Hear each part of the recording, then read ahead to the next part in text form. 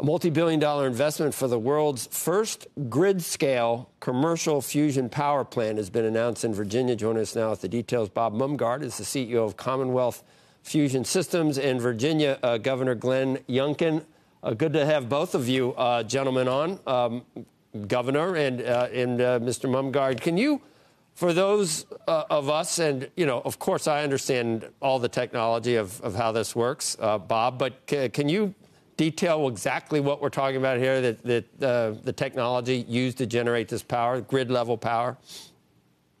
Yeah, so fusion energy is the energy source of the stars. It's the uh, opposite of, of nuclear power.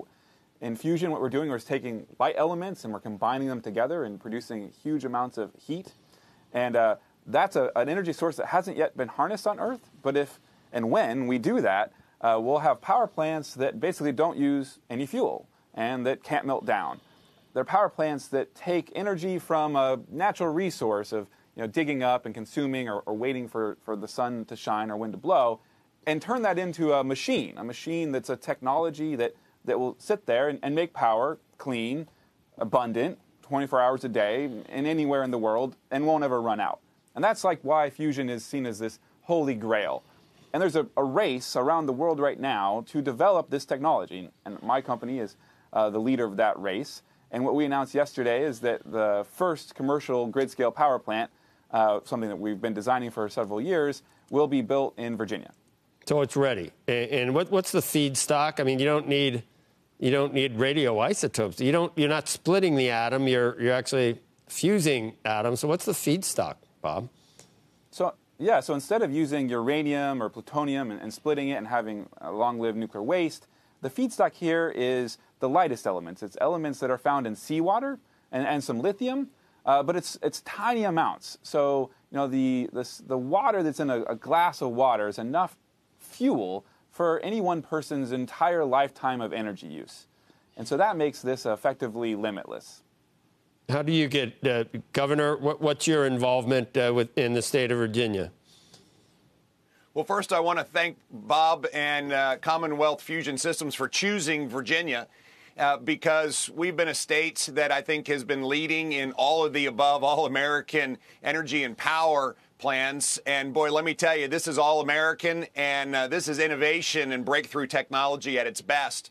And I was so pleased that we had a chance to, to bring uh, this uh, breakthrough technology to Virginia. It's a 400 megawatt power station. Uh, it will fuel the power of the future uh, in uh, in data centers and AI and advanced manufacturing and all of the investments that's going on in Virginia today. And uh, Virginia's roaring, and so I'm very excited about the fact that we will see this power plant come on board uh, in early 2030s and add just this breakthrough capability to the future of powering not just Virginia, but I think America.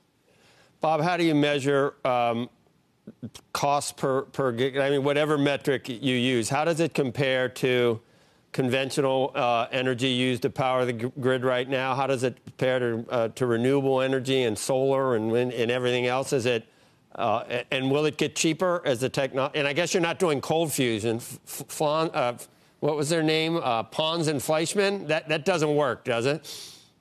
Too no, bad. That doesn't work. We're, we're doing the we're doing the fusion that is the, the hot that fusion. works. You know, really hot, hundreds of millions of degrees. Yes, it's it's done in, in universities and, and, laboratories around the world, and, and, we have a facility up spin out of MIT up in Massachusetts that's uh, building the prototype for the facility that we'll then later build in, in Virginia.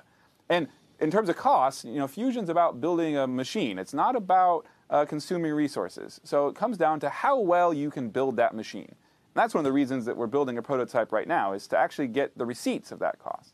And when we add it all up, it, looks like this could be very competitive. And it also could benefit from the advanced manufacturing, um, the, the big macro trends of compute, um, supercomputers, et cetera, that are affecting all of uh, innovation in our, our economy. And so that could really drive down the cost of fusion.